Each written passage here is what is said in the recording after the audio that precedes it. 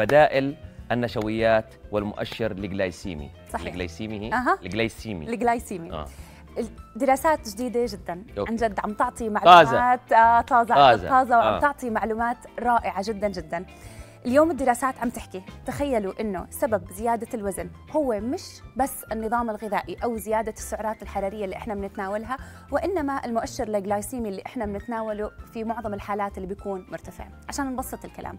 هلأ صار في diet جديد اسمه ال keto diet. ال keto صحيح. diet مبني على فكرة إنه إحنا بناكل كتير دهن. كبيرة من الدهن وبناخذ سعرات حرارية كتير عالية ومع هيك إيش بيأدي؟ تنحف. تنحف. أوكي؟ فهذا الإشي أول point كانت عم تعطي مؤشر جديد إنه السعرات الحرارية مش هي فقط اللي بتأثر على زيادة أو نزول الوزن. فإذا أنا مش لازم أعتمد فقط إني أنا أقرأ اللوائح الغذائية وأعد قديش السعرات الحرارية اللي أنا باكلها تمام. وقتها أعرف إذا أنا رح ينزل وزني أو رح يرتفع وزني. هاي أول معلومة صارت بالتغذية واضحة إنه كان عندنا عن جد معلومات مغلوطة من مغلوطة. قديش مشينا سنين. وسنين وسنين إحنا نعد calories بالضبط أوكي. مم. في ال calories وحدها هي مش المؤشر الصحيح لحتى أعرف إذا النظام الغذائي ملائم أو غير ملائم. في شغلة كمان جديدة عم تيجي إنه هلأ مع إنه عم نشوف في توعية كتير كبيرة من من أسس التغذية وقديش في ناس عم بيكون عندها وعي أكبر ومع ذلك نسب ارتفاع البدانة مستويات السكري من النوع الثاني بالأخص عند الأطفال أوكي؟ مم. آه والإضافة للحوامل gestational diabetes عم بيكون مرتفع بنسب كتير عالية.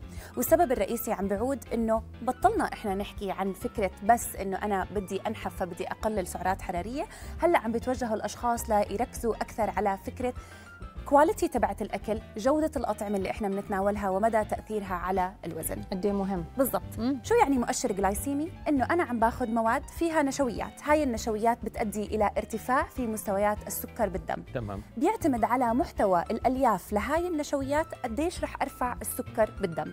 يعني إذا أنا باخذ الرز الأبيض عادة الألياف فيه كثير قليلة كثير قليلة طبعا هضمه رح يكون سريع مم. امتصاص السكر رح يكون أسرع وارتفاع مستويات السكر بالدم رح تكون أس- عالي عالية بالضبط جداً. أسرع بالضبط وبيؤدي إلى آه، إفرازات الأنسولين من قبل البنكرياس بنسب أعلى أوكي أما إذا بدي أقارنه مع البرغل اللي اليوم أنتم مستخدمين برغل مم. بالطبخة سلطة؟ برغل. سلطة البرغل مم. إذا بدي أستخدم البرغل إذا بدي أستخدم الفريكة. كل هاي مغلفة مغلفة ال ال القمح أو آه أنت هلا عم تحكي عن. القمح تحديدا. أوكي آه. بالضبط. الحبوب اللي إحنا بنتناولها وبيكون مم. عليها قشور.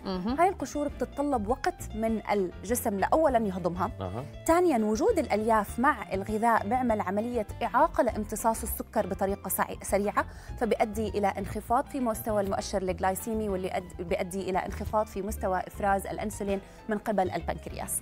كل الدراسات عم تتوجه لتدرس مدى ارتفاع السكر بالدم المفاجئ وتأثيره على إفراز الإنسولين من قبل البنكرياس ومدى تأثير هذا الشيء على زيادة الوزن.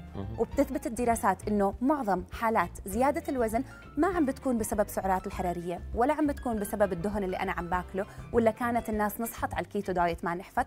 السبب هو عدم انتظام المؤشر الجلايسيمي بالجسم واللي بيؤدي إلى ارتفاع في آه، مستويات الأنسولين بالدم بشكل سريع جدا. الأنسولين spikes اللي دائما نحكي عنها واللي بتؤدي إلى للأسف الأنواع العديدة من الأمراض المزمنة بالإضافة للسكري من النوع الثاني والأمراض الالتهابية. okay يعني لو bottom line بدنا نحكي إنه عشان هيك نوضح للمشاهدين إذا انت عم تحكي إنه الأطعمة المفيدة مثلا تعطينا أمثلة تقولي لنا مثلا هذا okay ما بيرفع مستوى السكر بالدم هذا الشيء هذا الشيء ممكن تسمي لنا هيك كم من شغلة. مثل إيش قصدك لازم إنه إحنا يعني مثلا قصدي أنا بدال الرز. الأبيض رز بني. صح عشان غيره. أنا عن جد أقدر اخسر مم. وزن بدي اولا ما أركز على السعرات الحرارية بدي أيوة. أركز على جودة الأطعمة اللي أنا عم بتناولها تمام. ال food quality تعتبر الأساس في تحديد مش السعرات. الحرارية مش أمسك والله أبداً. فيها هالقد سعر آه، حراري ما أبداً. بدي إياها yes. هاي فيها هالقد سعر حراري صح. آه بدي إياها وهي هاي ضارة وهي مفيدة 100% okay لأنه أنا اليوم بقدر أروح أشتري من السوبر ماركت آه وجبة سريعة okay آه مثلا آه تشيبس آه شوكليت بسكوت فيه 200 سعرة حرارية وبقدر آخذ كوب من السلطة اللي فيها برغل وكوسة ودجاج جوز و- وكذا، آه. وفيها كمان 200 سعرة حرارية. ولكن طريقة هضمي للاغذيه اللي اللي فيها نسب عالية جدا من السكريات الأولية رح تكون أيوة. أسرع رح ترفع السكر بالدم أسرع ورح تؤدي إلى ارتفاع في مستويات المؤشرات أو مؤشرات الالتهاب ال C-reactive protein بالجسم بنسب أعلى مقارنة مع الأغذية اللي عن جد فيها الياف كاملة فيها غذاء صحيح حتى لو عالية في السعرات. حتى لو عالية بالسعرات. okay هذا هاي؟ الجسم. بيعرف يتعامل آه. معها بطريقة أسرع. بالضبط. وبيعرف يوظفها يوديها بالطرق الصحيحة. صحيح. في عنا هون بيجي مؤثر يسمى ال thermal effect of food أو التأثير الحراري للأغذية. قديش الجسم بيتطلب مجهود بدني ليحرق السعرات الحرارية اللي أنا تناولتها؟ فإذا أنا بدي أفكر بهذا الموضوع البروتين بيتطلب جهد كتير كبير من المعدة لتهضم البروتينات. yes آه. ومن ثم تمتص البروتينات ومن ثم تستخرج السعرات الحرارية من البروتينات تاخذ مجهود كتير بدني عالي مقارنة مع النشويات والبرو وال والدهون. عشان هيك دائما إحنا بدنا نركز على جودة الأطعمة قبل السعرات الحرارية. بدي أركز على تنظيم مستويات إفرازات الإنسولين من قبل البنكرياس واللي هو نحن بنشتغله مع مريض السكري من النوع الثاني ومريض مقاومة الإنسولين. أو اللي بيعاني من مقاومة الإنسولين وسكري الحمل. دائما تنظيم الوجبات إنه أنا أعرف إنه على الساعة 8 رح أفطر على الساعة 3 رح أتغدى على الساعة 8 المساء رح أتعشى.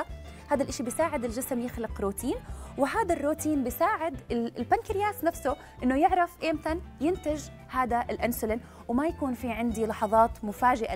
للبنكرياس إنه يصير في عنده insulin spikes و insulin shocks هاي تاني شغلة أساسية. ثالثا الاستبدالات الذكية اللي مم. كانت ديما بتحكي عنها إنه أنا بدل ما أخذ كل يوم رز أبيض خلينا عن جد نلجأ لأكلنا العربي ال ال ال ال فيك القديم. ناخذ برغل مم. حنطة فريكة برغل بشار في. كثير أفكار ممكن إني أستبدل الرز الأبيض اللي كل يوم عم ناكله وعن جد فيه نسب سعرات حرارية عالية وسكريات أولية. دائما لازم أقرن البروتين مع النشويات لأقلل امتصاص النشويات وأعمل زي buffering effect اقران المكسرات مع الفواكه بتقلل من امتصاص السكر وهذا ذات فائدة غذائية لمريض السكري من النوع الثاني اللي بحب ياكل فواكه ولكن ما بده يرتفع السكر عنده بشكل مفاجئ.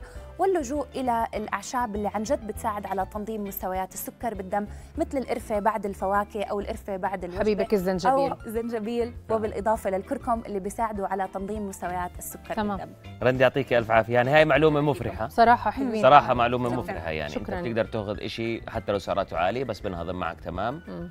وما جودة بس يكون مفيد. جودة الأطعمة. جودة الأطعمة. جودة الأطعمة. جودة الأطعمة يا جماعة. جودة الأطعمة. شكرا يا رند. رند شكرا لك شكرا على الاستضافة شكراً الحلوة. يعني لوجودك معنا في الصالون.